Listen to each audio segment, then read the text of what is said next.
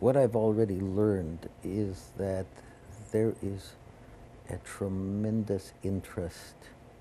Uh, if you if you take the whole country, and what I said yesterday, Jim Patell, a business professor at Stanford, said ten years ago.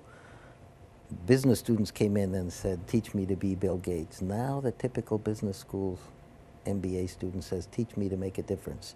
They are already interested, and they're, they're pushing the professors.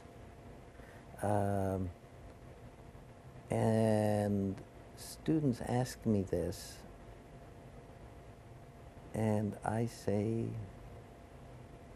go do it. You know, if you're interested in.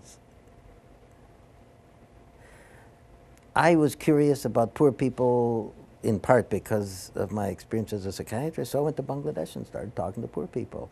A woman that in, in, a, in an entrepreneurship class said that she was interested in medical things. She wanted to make a difference. She was interested in medical things. And I said, well, where? Well, well, she liked Central America, and I think she was from there. And she said, what should I do?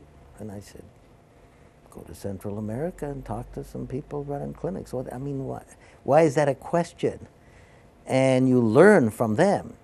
Then you can tie it to your education. People can tell you how to solve some of the problems. But if you're interested in, in, in health issues, go work for six months in a clinic in Nicaragua.